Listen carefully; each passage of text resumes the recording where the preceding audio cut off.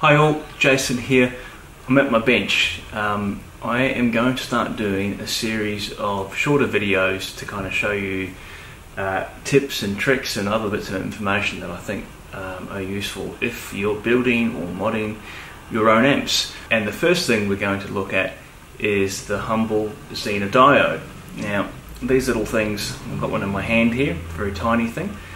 They're used in a Jose modded Marshall, so you'll often hear about you know, diode clipping and uh, diode clippers and so on. Um, were used extensively in the Jose modded uh, Marshall era and are still used um, in modern production amps today uh, to give that kind of toothy, aggressive, um, you know, that clipping sound. It's, you can only really get it from, from these things. Now, this is the Kelly amp that we're in the middle of building here at the moment, and this is one of the Kelly PCBs. Now this thing is, you know, as the name implies, a Kelly amp. It's based on uh, the Ho Jose Arredondo uh, modded Marshalls of the day, which were produced in California.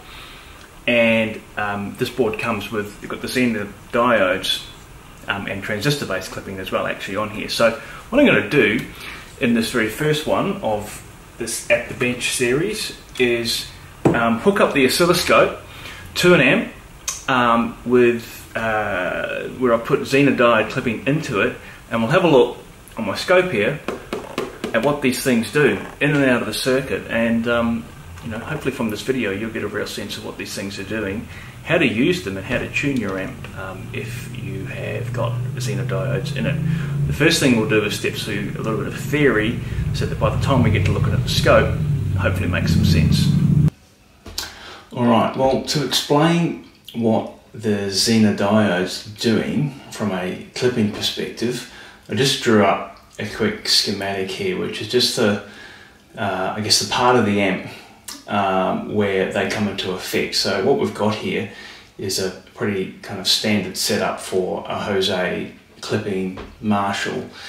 Um, this is uh, V2 tube, right? So um, second preamp tube. This is the cathode follower part of it, the second triode of V2.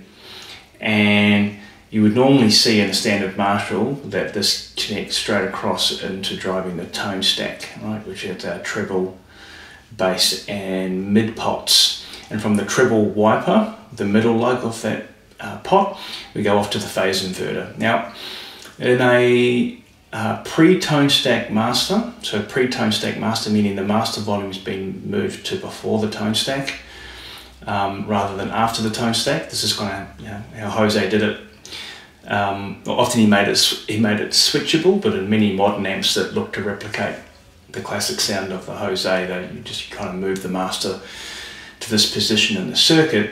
And here we have the diode clipping set up, right, which are kind of sitting here in parallel with this one meg uh, pot to ground. Um, so to try and explain what these Zeners are doing um, from a kind of, let's call it a theory perspective, I've got this little diagram over here as well, which is kind of showing a sine wave and how the Zener diodes um, clip it, right? And they'll like clamp it at a certain defined point. Now the reason this happens right, is because you've got to think about what a Zener diode does and kind of how it works. Now, so if this was a standard diode, uh, the current could only flow one way through it, and then um, you have what is called your um, breakdown voltage or reverse breakdown voltage, which is the level of which the diode itself will actually break down and allow current to occur. Now in a standard diode, like one you might use for um, rectifier in your amp, uh, like a 1N4007, you don't actually want that to happen because um, if, you, if you apply a voltage great enough to that diode um, in, in reverse, um, you'll be replacing your diode probably, right? So, however, a Zener diode is very different and it's, it's actually designed to be able to go into the reverse voltage mode. So your current can flow in one direction uh, in the normal way through the Zener diode, and then the other way will only occur once the reverse uh, breakdown voltage has been reached or the Zener voltage, right? So these are, you know, in, in this example here where I'm using 20 volt Zeners, what it means is that as soon as you've got um, a voltage across this thing uh, in the reverse way, reverse current, that reaches 20 volts, the Zener diode is going to effectively break down, use that term, and it'll become conducting. It becomes conducting and it holds the voltage at 20 volts. It's quite remarkable that what it can do, right? So um, within, within the current variations that we're dealing with at this point in the amp, um, it can deal with the change in current as your signal changes and it still holds will hold the voltage at no greater than 20 um, once it's in um, conducting state in other words once that um, the Zener voltage has been reached now when the uh, when the Zener voltage the reverse breakdown voltage has not been reached then the, the Zener diode works like a normal diode and it will not pass current. So um, what that means in reference to what's going on here, and this is how we get our clamping, right, our clipping or our distortion on the wave, is, is when the current flows in one direction, all right, this is AC, um, you can imagine, let's just say it's on the positive cycle, so I'll, I'll say that the current's kind of flowing this way. It's going to pass through this Zener diode, no problem. And this one here, as long as that um, is under 20 volts at this point, it won't allow anything through. So this is non-conducting. It's like an open circuit. It means that they have no impact. Nothing's going on here, right? Because this is blocking it. Which is why the signal, if measured, let's say at this point in the circuit, right?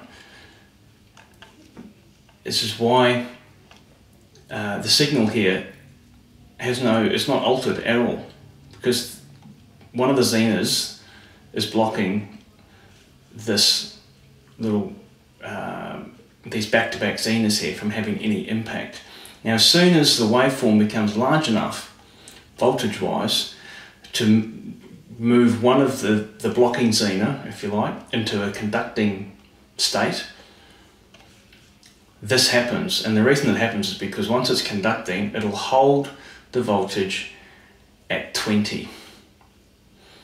No matter how big the voltage is that's applied to it, well, within reason, um, it'll hold it at 20. So as the usual waveform would come up here, it actually gets clamped off at 20.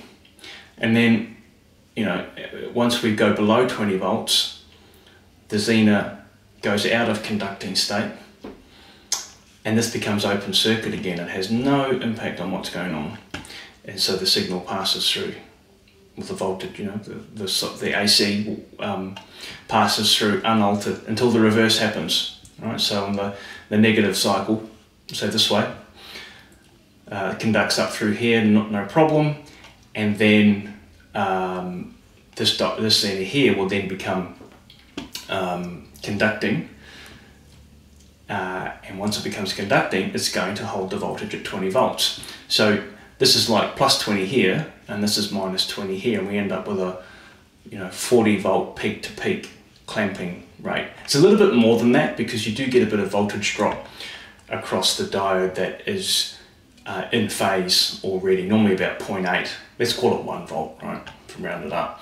So it's kind of, let's call it be 21 volts here and, and 21 volts here, so let's call it 42 volts peak to peak. Now, um, if that makes any sense at all, then that's good. And what it kind of means, right, is that once you can understand that what these, you know, kind of what they're doing, um, you can then tune your amp. So depending on where you want this clamping to come in, in your Jose circuit, your diode clipping circuit, um, you can choose the values here. So what I did is I set my oscilloscope up um, to this point in the circuit. Or let's let's just assume the master's on 10 right? So we want to take the global the master volume out of circuit. So you could you know set your oscilloscope at this point um, which I will do right in the in the next segment of the clip I'll show you how how it all kind of works on the scope So imagine the probe is set on here, this master's on 10. Um, you can adjust the preamp level in your in, in your amplifier, the gain, preamp gain, right? And see where your voltages are at, peak to peak, or you know, a peak here or peak here. And then you can choose the value of your Zener because you can get these and all sorts of values, right? Um, you know, right down to you know a couple of volts or less, and all the way up to you know way beyond what your amp uh, what your amp's capable of producing at this point. So you can kind of dial in where you want that clamping um, to occur. So yeah, you know, kind of you know, tune it um, as you like. And if you kind of understand the theory here about you know um, one of these Zener uh, diodes at any point in time going into conducting mode um, and therefore clamping the voltage either at the you know the positive cycle or the negative cycle of your AC guitar signal. Um, you can do asymmetric clipping as well, which if you have a look at my um, most recent mod video on the Marshall 2204 JCM 800, which is what I did, one of the modes, I had 24 volts here and 5.1 volt here. And so you end up with an asymmetric clipping.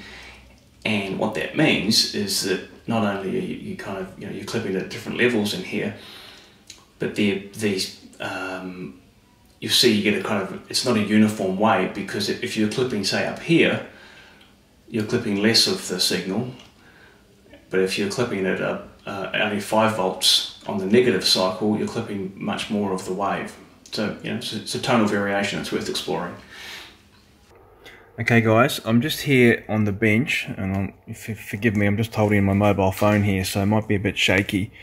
But I just wanted to show uh, what's going on with these clipping diodes. So I've got the scope here, I've got the probe set, at, this is the 33k slope resistor to the tone stack, right? So what we're seeing here is I've got a uh, 150 milliamp peak to peak sine wave coming into the input of the amp. And this is uh, with no Jose clipping on. And so what we're seeing at the entry to the tone stack after the cathode follower, as you can see an 88 uh, volt peak to peak signal. Now, if I bring the gain up, is obviously on the dirty channel of the 800. Uh, if I bring the gain up, you'll see the wave clips, right? So we're starting to see compression and distortion at that point in the amp. I'll bring it back down so you can see it's kind of you know starting to square off there at what 100 volts, right? Peak to peak. Um, now, if I bring in the 20 volt Zeners, see what happens. Right, so uh, you can see I'll bring the gain back. Now this starts to square off at, you know, on my scope, it's reading 45, 46, 47 volts peak to peak, which is kind of what you'd expect with two 20 volt Zeners back to back. You've got a 40 volt uh, compression point there, peak to peak. You know, so it's heading up towards 50 there on the peaks, but you get the idea. So you can see what the Zeners are doing, right? At that point in the amp, they are creating compression, distortion, square waves, if you like. Obviously, this isn't a guitar signal, right? This is a pure sine wave. I bring the clipping back off. You notice when the signal is low, uh, sorry, I'm clipping the 20 volt Zeners in and out there, has no impact. Um, which is one of the reasons why with the Jose uh, circuit like, like this, when you roll back on the guitar volume, cleans up nicely because it gets underneath the, um, the clipping point, uh, the clamping voltage if you like. So here I've got the clipping off and you can see it's kind of what the square wave looks like but at 100 volts peak to peak the amp's loud. So if I go back to the 20 volts the waveform's not identical right? But you get the idea. Same kind of shape. The peak to peak voltage here is half. Um, and I've tried something different with this amp, something new for me. I've got asymmetric clipping in the other mode, so I've got a 24 volt Zener back to back with a 5 volt Zener, and that's what we get. So you can see that the the compression point here, well the you know min and, min and max point is uh, is a bit different than what's going on with the 20s. So at the top here, at the obviously at the max voltage, it's kind of the same, but at the bottom of the wave, it's far more compressed. So tonally, um, we'll get you know a different kind of um, Jose sound or a different kind of clipping sound between these two variations. Um, so yeah.